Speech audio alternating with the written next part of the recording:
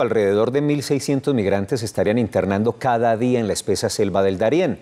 Niños, jóvenes y adultos arriesgan sus vidas en busca del sueño americano.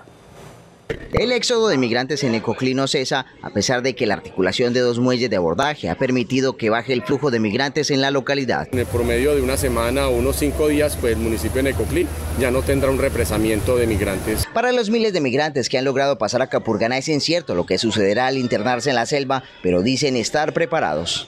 Cualquier persona acá, haitiano, preparar eso, comprar todas las cosas que quiere, remedio para comer, agua, todas las cosas. Los gobiernos tienen que analizar y buscar alternativas que sean menos críticas para los migrantes. Según el Ministerio Público de Panamá, en ese país han recibido más de 30.000 migrantes que realizan el tránsito desde Urabá y cruzan la selva del Darién, por lo que solicitan que los gobiernos de tres países habiliten una ruta humanitaria.